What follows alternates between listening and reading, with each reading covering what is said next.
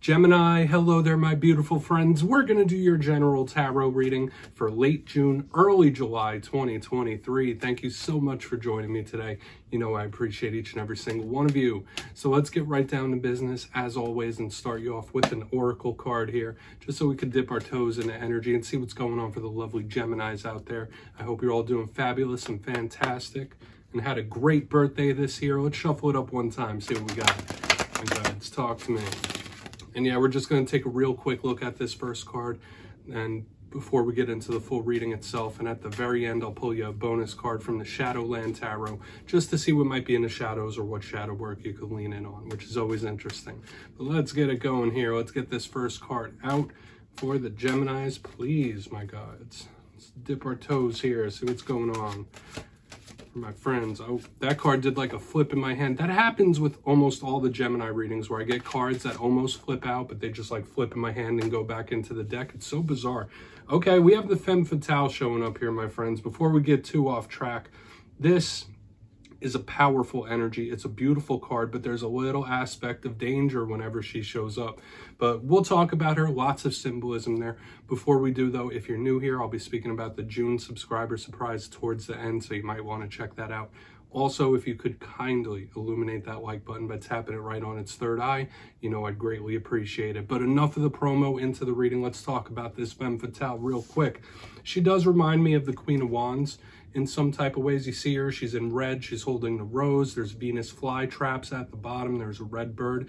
So, of course, this could represent some beautiful confidence. It's very confident and sexy, and it's very attractive when we see it. So maybe some of you are feeling confident, attractive. You might be focusing on your looks in this time when this card shows up. However, I just need to say this card can also represent temptation, something that looks good on the outside, might have a little danger lurking beneath the surface. So whenever this card shows up, yes, there's good positives to be had with the confidence and the aesthetics, but just keep your head on a swivel with this type of energy because there might just be certain things that are right out of view. There's a little aspect of temptation and danger here. So I mean, for some of you, you might just be feeling extra attractive in your own right, which is a good thing. But let's just put her down right there. We're going to get into tarot now. I would say that first card doesn't make or break the reading. It's just a footnote. And yeah, I'm going to get you three of these in the upright before we get the intuitive juiciness going. So shuffle it up here for you, Gemini. Let's see what's going on. My guides, talk to me. What's up with my Gemini friends? So let's talk about last week's reading, Gemini. It was titled An Unexpected Action. Now, remember, those energies could bleed over from week to week. It doesn't just have to be last week's. But I was getting the vibe of someone doing something that was like a little outside of the norm or doing something that like you didn't see coming. That was a big vibe I was picking up last week. So if there have been any unexpected actions, hopefully they've been of the good variety. But you know how life goes sometimes. Let's see what we have for you this week. As you know, energy is very fluid, never set in stone. So only take this how it hits for you, right? Because we could be seeing your energy or someone you're linked to.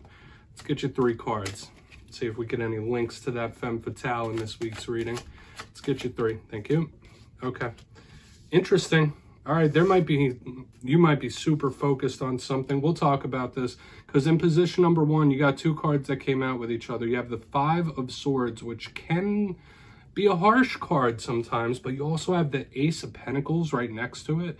Uh, so for some of you, maybe you feel like you have to fight and scrap for every single opportunity you get or determination. We'll see. We're going to have to piece this all together. Let's get one more. All right, because the Five of Swords could be a warning sometimes as well. Let's get you one more. Thank you. Ten of Wands.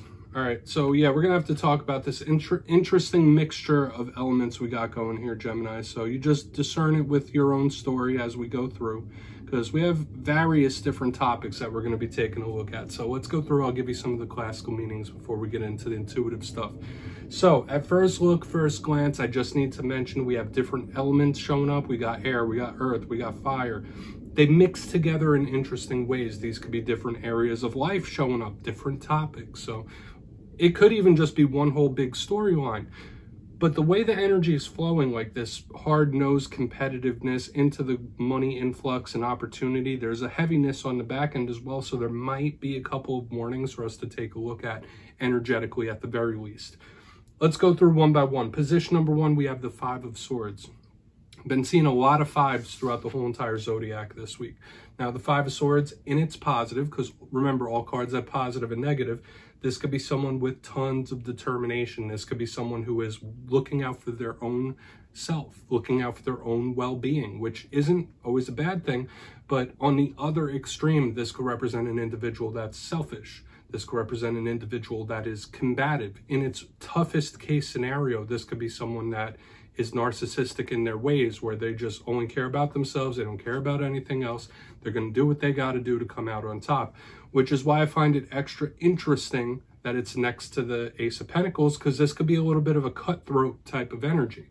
Okay, but we'll see. For some of you, this could be your determination paying off in some sort of way. We don't always have to ride the challenge message. Like we could always take the good.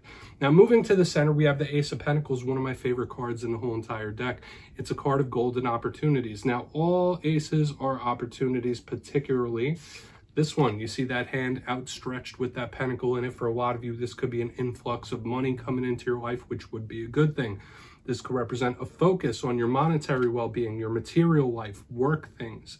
But when I see this, I think of a very good, prosperous golden opportunity coming in. So when it's next to this card of someone fighting, scrapping, if it's not cutthroat, this is someone that's just determined to get what the, what's theirs, right? Or someone to get what they deserve in some sort of way. So we'll see what's up. It doesn't all have to be warnings here, okay? Now, moving to the very back end, we have a card which also has similar archetypes to this Five of Swords. We have the Ten of Wands. Well, let me get that ace right back where it belongs, right? There we go. So the Ten of Wands. You see this person, they're carrying that big old bundle of sticks on their back. In the classic rendition of this card, the person is walking up a hill with this bundle of sticks. So in the positive, it's someone that's going to keep trucking, keep moving, keep pushing. Doesn't matter how heavy it gets. It doesn't matter what situations or tests are in their way. They're going to keep moving. So in this spread, there is a whole mess of determination in a good way. However, this card could also attach more warnings. This is a very heavy energy. It could be mental, emotional, physical heaviness here. So when I see this often when someone's not feeling well, when someone's feeling emotionally zapped, you see this card show up when someone's feeling sick or there's some sort of illness when this card shows up. So this could be a warning about your own health, vitality, and wellness, okay? Not to overdo it, take some breaks, take a rest when this card shows up. The Ten of Wands, in its roughest sense, could be somebody that's feeling a little guilty. Like they just have so much weight happening right here. So you see how this could be a warning, but like I said, there's a lot of determination. Even if there's tough situations and tests happening, there's a beautiful determination here. So with all that being said, I want to dive deeper. Let's jump in and clarify. All right. Get a good shuffle here for the Geminis. Let's reset this deck. My gods, talk to me. What's up with Gemini, please? And yes, my friends, this is where I go intuitive with the message, which means I just tell you how it feels to me. So feel free to do further research or rely on your base knowledge of tarot because as you know, every single reading is about the reader's interpretation and I'm just giving you mine. Let's go in on that Five of Swords. And yes, if you're a reader yourself, please feel free to play along. That's why the box is here. If you're feeling any messages that you want to give to Gemini, you could drop it in the comments. I don't mind at all. All right, Five of Swords time. Why is it here? That Five of Swords here for Gemini, please? Thank you. Okay, we have the Hanged Man in reverse. Yeah, this feels a bit of a sour energy here, my friends. Okay, this does feel like someone like springing into action, making a move. Okay, if you're not in the mode, I will say this, if you're not in the mode where you're looking out for yourself and it's like, all right, I'm just going to stay in my lane, do what I got to do and pay attention to my own journey because this could simply be it. The hanged man in reverse is like, all right, I've made my plan of action. Now it's time to move here. And we kind of was seeing the action-based energy last week. This could absolutely be a warning okay, about somebody like purposely picking or starting some sort of fight. So in this time, watch out for someone like poking, prodding, picking, like trying to get a rise out of you. Like that's a big thing. Like if that's not something that you experience this week, maybe this is someone from the past that loves getting a reaction from you. Intuitively, that's what I'm feeling. Hanged Man in reverse could represent a Scorpio. Okay, sometimes it's even linked to Virgo. So, but if you're not connected to these signs, I am getting someone like poking, prodding, trying to get a reaction or start a fight. So I would take that as a warning. Okay, I, especially with this on the back end, there might be someone trying to get a reaction or get a rise out of you on purpose. Okay, I'm not feeling tons of malicious energy just yet.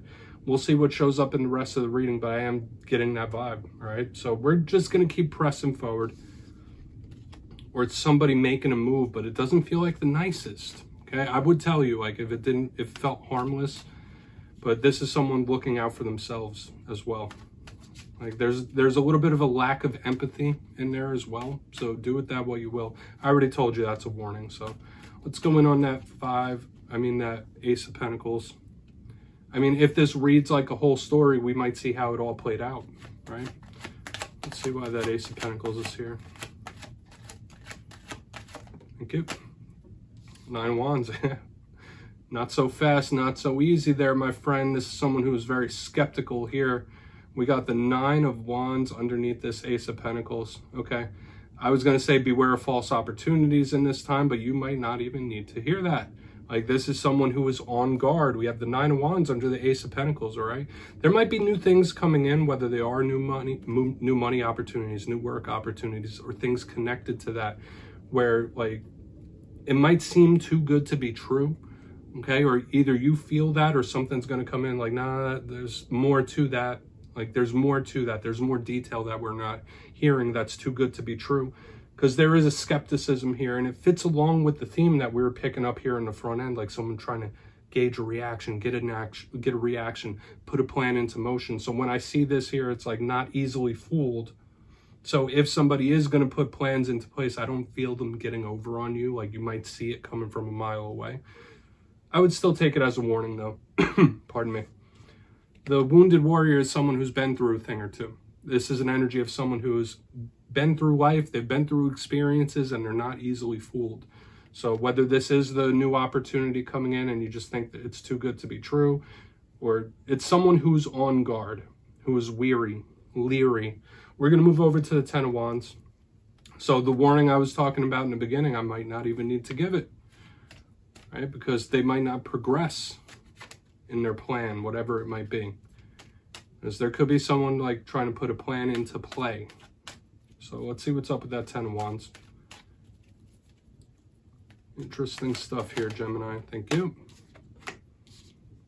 Mm-hmm. Yeah, this is someone that is not happy with the result here. I'm get why am I getting an energy of a rejection? I'm getting the energy on the back end of a rejection, Gemini. Whether it's a rejection of behavior, a rejection of a person, a rejection of a way of thinking or being. The Two of Pentacles in reverse is giving me that energy of like something not working out to how someone had planned it or there being a rejection take from that what you will. But I feel like those are the two big things. Like maybe someone thought they had like a golden plan and they tried to move forward and they got rejected. Like with the way this plays out to me, it's like, no, yeah, not so fast. We're not proceeding with that. So just beware in this time. There might be different types of rejections, whether it is work related, personal relationships, or just rejecting a feeling, right? Like it's always important to remember that in tarot, we could be speaking about a lot of things. Maybe you're tired of feeling a certain way. Maybe you're tired of thinking a certain way. There is energy of rejection here on the back end though, or someone being disappointed with something not going according to plan. Okay, that's just the vibe I'm picking up on this whole thing. Take it if it hits. I know we have like lots of different elements, lots of different things happening here. This might just be completely somebody else's different energy. It doesn't have to be yours. Um, let's go through and do a quick recap here because whether they are separate things or one big story, it's interesting how it all plays out because we did have a couple of warnings show up. Position number one, we have the Five of Swords with the Hanged Man in reverse, the first thing I said. If it's not you looking out for yourself or being on a solitary path, it is somebody wanting to put a plan into motion or kick a plan into action, like, all right, now is go time. But another vibe I was picking up here was like, beware of someone trying to poke and prod or get a reaction. Like, this is somebody who loves getting a reaction out of someone like for fun, I guess, but there's a little bit of lack of empathy here. Moving to the center, we have the Ace of Pentacles with the Nine of Wands. Whatever this plan is, whatever it is that I was warning about earlier, it's not going to work. All right, this person is not easily fooled. They're not easily tricked in the center. It's like, yeah, that might be like if it's an opportunity coming in, too good to be true. There's got to be more detail to that. But it could be all linked because on the back end, I was picking up that rejected type of energy. We got the Ten of Wands with the Two of Pentacles in reverse. So you knowing what's good for you and what fits into your life and what doesn't is big here. Whether it is you rejecting a way of thinking, being, feeling, a person, a work situation, whatever it might be, this is someone saying like, yeah, no, that's not going to work. Like that's not working for whatever reason. Okay, and I'm just feeling it here. So Gemini, please take a screenshot of that if you want to look into it further. I'm going to get you a shadow card. Interesting the way this played out for sure. But let's see what's in the shadows for you. I mean, there's not much to say about it, right? At the very end of the day, whether you know if something fits for you and if something doesn't. You know what's best for you. No one could tell you that. Let's get one shadow card here, though. Some shadows for Gemini, please. I always like to use the Shadowland Tarot for this portion. There it is. Okay, and, and this shows up just in the shadows. So I'm going to have to reiterate it. It's a card that was in the reading itself. We have the Ace of Pentacles in the shadows, which is in the main portion of this reading as well. So the Ace of Pentacles, like I was saying, is usually a card of golden opportunities. So when I see it in the shadows, it's usually one of two things beware of false opportunities. Watch out for someone trying to dangle something in front of you that doesn't have a lot of weight, doesn't have a lot of merit. But another thing with the Ace of Pentacles in the shadows, it could be Spirit asking you to really tighten up a money situation or a work situation, right? Like don't spend out of control, out of hand or anything like that when the Ace of Pentacles is in the shadows because there might be certain topics connected to money that aren't the healthiest for whatever reason. So yeah, Gemini, that's what I have for you this week, my friends. Don't click away just yet though. I'm going to give you the details of the June subscriber surprise.